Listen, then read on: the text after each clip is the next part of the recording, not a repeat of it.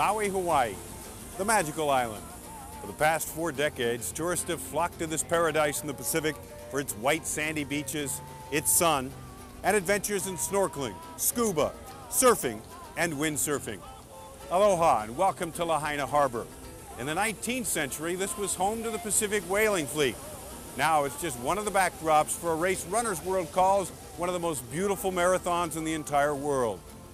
Every year, runners from across the globe make the pilgrimage here for the Maui Marathon, in a race that will test themselves against the elements in a race for honor and glory.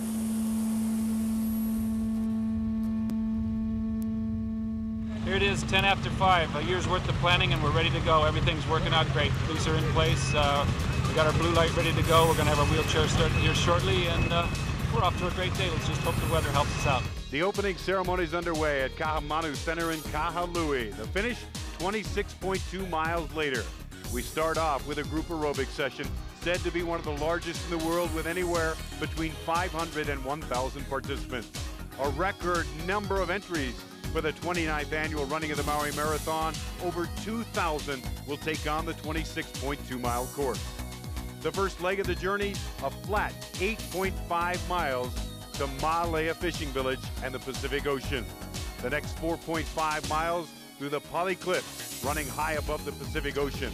The final leg, 13.2 miles on flat road through historic Lahaina town, finishing at Ka'anapali Resort and Whalers Village. 5.29 a.m. and our runners are finally assembled at the start line for the traditional Hawaiian blessing. Last minute preparations now out of the way. We're ready for the largest field ever to run the Maui Marathon. And they're off. Bib number three in the red, Eddie Hellebuyck, the odds-on favorite to win this marathon. 29th Maui Marathon, rated number nine in North America by the Ultimate Guide to Marathons and one of the 10 most scenic marathons by Runner's World.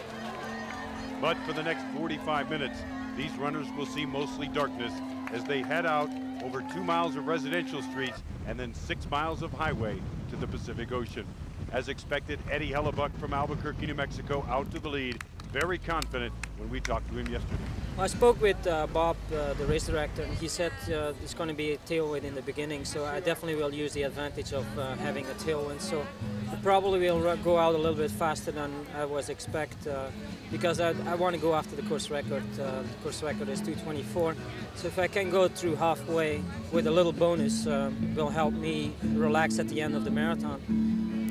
Thinking about 109, 110 for the first half, and then keep it going and uh, break 224 for sure. Then. Hellebuyck's top rival, Aaron Pearson, the defending champion and course record holder. Running with Eddie is going to be uh, going to be a very serious race, and uh, more than likely, it is going to come down to the uh, the last few miles, and it's going to come down to who is the strongest. And I hope to be the strongest competitor then and the odds-on favorite to win the women's division, Mari Tanigawa, a 30-year-old from Japan, the course record holder and again defending champion.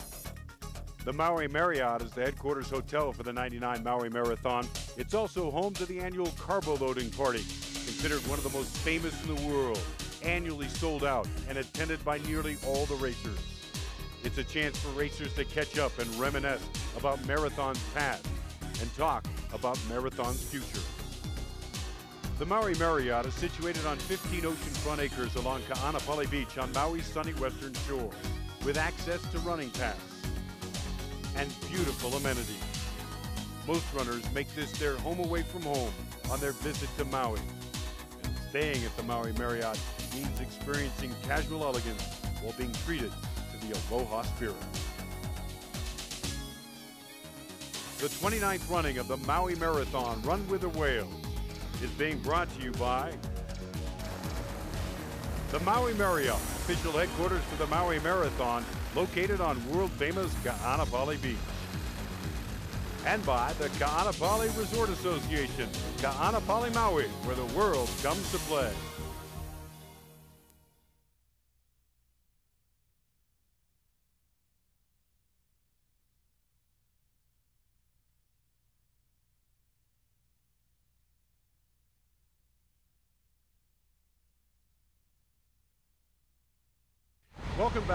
29th running of the annual Maui Marathon. Dawn is quickly approaching as we catch up with our lead runner, Eddie Hellebuyck, who in dramatic fashion just moments ago, under the cover of darkness, took back the lead over Gustavo Varela at aid station number one. The diminutive Belgian native now setting the pace with long, powerful strides, running right about a five minute per mile clip, 10 miles in. Varela and a host of others struggling to stay with a blistering pace. 6.14 a.m., Varela in second, still fluid, but losing ground to Hellebuyck. Now comes the hard part. The Pali Cliffs, 4.5 miles of rolling uphill, hugging the Pacific Ocean, a test of stamina, will, patience, and desire. Approaching the uphill, a pack of four runners, including Robert Matto, Karen Grant, and Mari Tanigawa, running second and third in the women's field. Tanigawa with the pass. Last year's women's champion and course record holder, now in second place behind surprise leader Uli Puchner from Austria. Puchner's still fresh and running strong. As is the men's leader, Eddie Hellebuyck, the Cliffs offering a stunning backdrop for the race. Now in third place, but fading in the women's field, Karen Grant. Gustavo Varela, still in second overall behind Hellebuyck. Aaron Pearson, current course record holder, in third place, Varela still in sight. In seventh place, island favorite and Maui resident Joe Alaweta.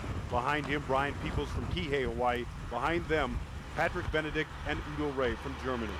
A three-pack of runners, four through sixth. Nicholas Krohn, Takuya Hitomi, and Jeffrey Martin. Still the class of the day so far, Eddie Hellebuyck approaching the halfway point of this 26.2 mile marathon. Aaron Pearson, last year's champ, still third.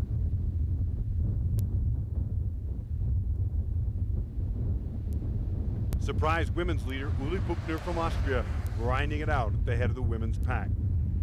Puchner now stretching the lead to 123 over Tanigawa. Two minutes plus over Grant. Jeannie Wokash, a three-time winner of this race, now in fourth. Uh, what I have basically here is a performance art. So it's something that you, it's like music or dance. It's something that you create, you share, you enjoy it, you let it go, and you look forward to the next one. And I moved to Maui about 15 years ago and started doing it probably about 12 years ago. And it started out just as a, you know, for my own enjoyment. I've had the opportunity to, to uh, travel all over the, the world and learn from some of the very top sculptors in the, in the world doing this stuff. And it's, but it's basically, it's still the same thing as any sculpting uh, is doing is basically what you want to do is be able to pre-visualize it. And once you visualize it, then it's just up to you to utilize the tools and techniques to make it work that way. Yeah, it's not something you would pursue necessarily as a, as a career choice, but um, it's just something that worked out that way. And um, have to start at one point and pretty much work your way out or around it away from them. It's uh, Run with the Whale, so this basically will be the whale's tail, the sunset, has some little wave action, and then the Maui Marathon below it. Do you find sand gratifying? Oh, absolutely. It's therapeutic. It's uh, pretty much a 100% positive um, entity because I'm exchanging energy with people and it's always positive. So there's not much really, other than this rain and this weather, not much negative to this job. The weather also continuing to underscore our men's story. Under cool temperatures and steady light showers, Eddie Hellebuyck on record pace Varela and Pearson locked in a battle for second and third. Checkpoint Charlie. Hellebuyck out of the cliffs at water station number nine. The rain continues to fall, but 12 miles of level road is ahead. Four miles of cliffs now behind him. Back 503, Gustavo Varela just behind him, defending champ Aaron Pearson. Varela trying to cool by dousing his lower body. 6.50 a.m. Women's leader Uli Puchner still strong.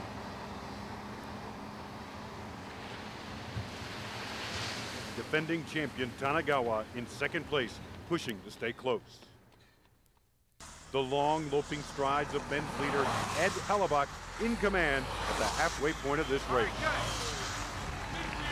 Keep going. Buchner reaches the 11-mile mark still in first, showing few signs of fatigue from the cliffs, but slowly losing ground to Tanigawa.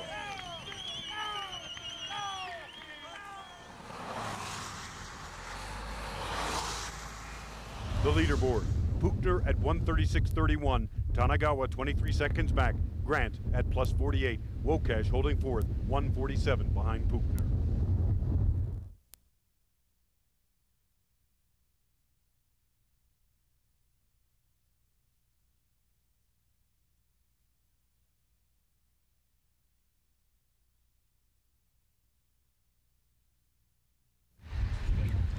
They call it the Run with the Whales, the 29th edition of the Maui Marathon.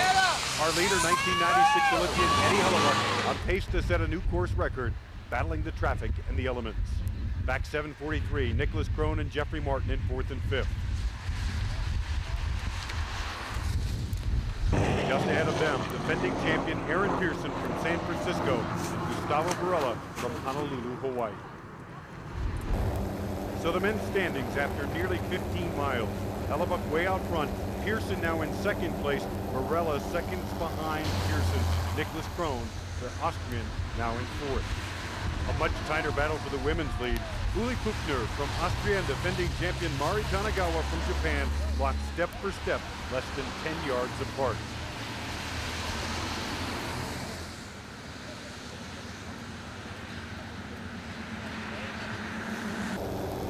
Miles ahead. Men's leader Eddie Hellebuyck sensing victory with eight miles still to go.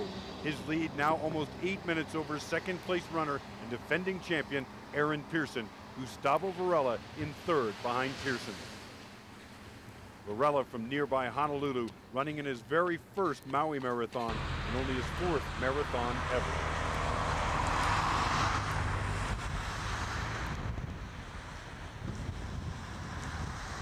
One. Our leader, Eddie Hellebuyck, the 1996 Olympian, closing in on a new course record. In the women's field, defending champion women's course record holder Mari Tanigawa from Japan, making a move on upstart Uli Puchner from Austria. Tanigawa back in first in this seesaw battle, suffering stomach problems, but refusing to yield.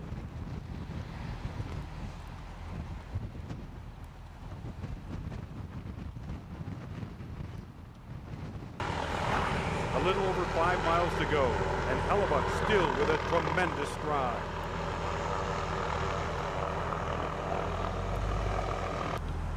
In second place, Pearson's hope for a second straight win beginning to vanish.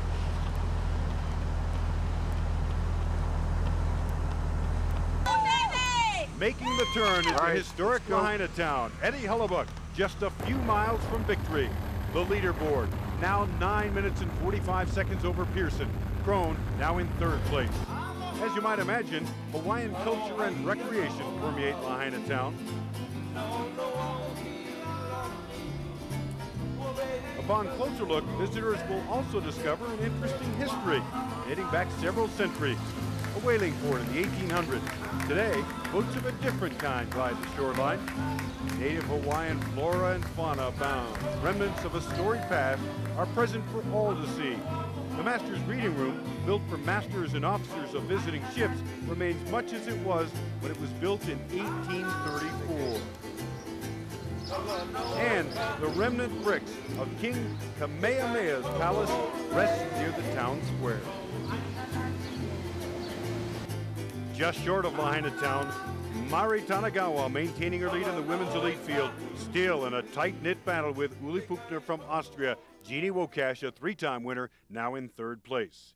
Tanigawa continues to battle stomach problems, now in first place. The question, can she hold on? Nobody behind No apparent problems for men's leader Eddie Hellebuyck, the winner of 19 different marathons around the world, in complete command here in the 29th running of the Maui Marathon.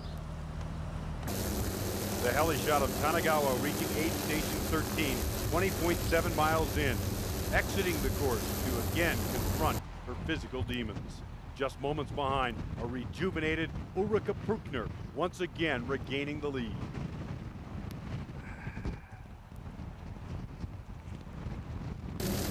From the helicopter, we can see Puchner now 15 to 20 seconds ahead of Tanigawa. Four miles short of the finish line, and Eddie Hellebuyck continues to outclass the men's well on his way to a fourth record. The lead story in the women's elite field, the back and forth battle between current leader Uli Puchner from Austria and defending champion Mari Tanigawa from Japan. Leaving Lahaina, now just two and a half miles from victory, Eddie Hellebuyck. Still in second place, but How well back behind? to Hellebuyck, defending Uh, champion. 100 yards. Huh? 100 yards. Now in third place and challenging Pearson, Nicholas Krohn, the Austrian who finished second to Hellebuyck in the recent Tahiti Marathon, running his personal best.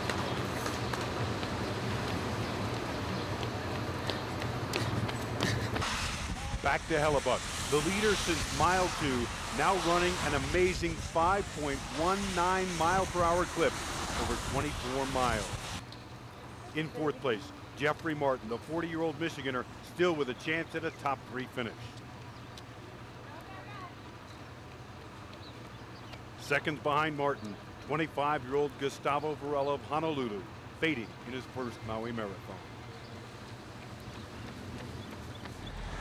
Back out to the Honoapiilani Highway, and Tanigawa turning it up for a final 4.5 mile push to the finish. Once again, after suffering stomach cramps, she is able to catch and pass Puchner, an amazing story of grit and tenacity.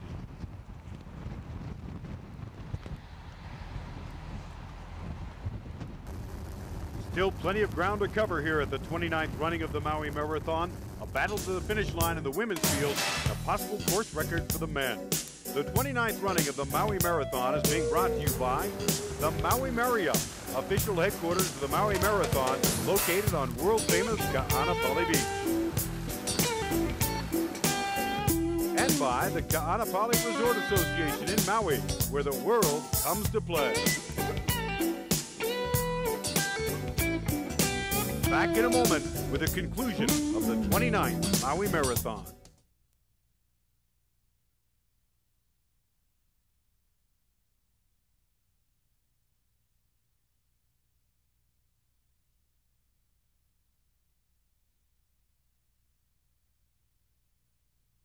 Seven fifty-nine a.m. Nicholas Krohn now in second place, less than two miles from the finish line. Ahead, Eddie Hellebuyck just strides away from victory. Come on, Eddie! The 1999 Maui Marathon champion for the men, 38-year-old Eddie Hellebuyck! Boom! Ha ha! 219.22 new course record for Eddie Hellebuyck. Well, I was surprised when I saw the newspaper this morning that I wasn't the favorite, and that gives me a little bit of motivation. I told Bob when I came here, I come here to run for time, and I didn't didn't just come here to sit and win. And um, this time, I just wanted to run so fast as I can, and so I'm really happy. And it was a completely emotional run from start to finish. Austria, 27 years old. He's moved into second place. This is Nicholas Karome. There you go. And here comes Aaron Pearson. Aaron Pearson. Congratulations. You have to feel good about today, Uh, yes, I had a good race. I started slowly, and then in the second half, I, I, yeah, I did better and better, and so I finished second. The toll 26.2 miles will take on a body. Aaron Pearson, third place finisher, stretching out painful leg cramps. Two and a half hours from the start, Mari Tanigawa still clinging to a slight lead over Uli Puchner heading into the final mile. Just ahead, Jeffrey Martin with a glance back at his pursuer. Right behind him, we've got racer number five right now. Jeffrey Martin of Huntington Woods, Michigan. He's going to take fourth place in a final sprint to the finish. And Honolulu's Gustavo Varela coming in fifth place overall. Five runners in under the conditions of a rainy day. Now let's check in with third place finisher Aaron Pearson. I, I gave it my best shot. Uh, third place. It seems like it happens like this all the time. I went back to San Diego to defend my title a couple years ago, and I took third there also. Uh, so, top three finish in competition like this. Everything went, everything went pretty well. Now on the approach to the finish line, Japan's Mari Tanigawa, the exclamation mark on a grueling mano-a-mano battle with Austrian Uli Puchner. She did it last year and set the course record 240 37. Come on, make some noise for Mari Tanigawa. 249 12. 12th place overall. And she had some competition out there. We've got second place for the women coming in right now. Racer number 12, second place, Ulrike Buchner of Linz, Austria.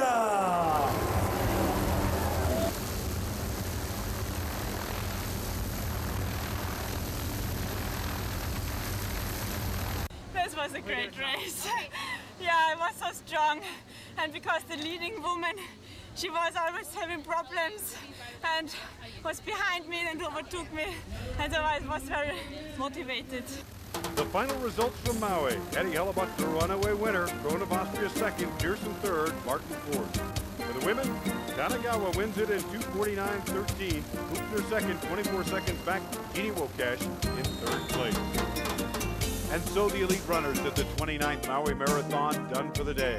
Eddie Hellebuyck smashing the course record by well over five minutes. Mari Tanigawa coming from behind and battling stomach pain to win her second straight. For many others, though, the challenge continues.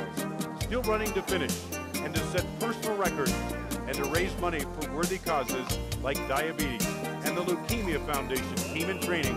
285 runners from all across the U.S. here to raise money in one of the biggest charitable fundraisers on the island.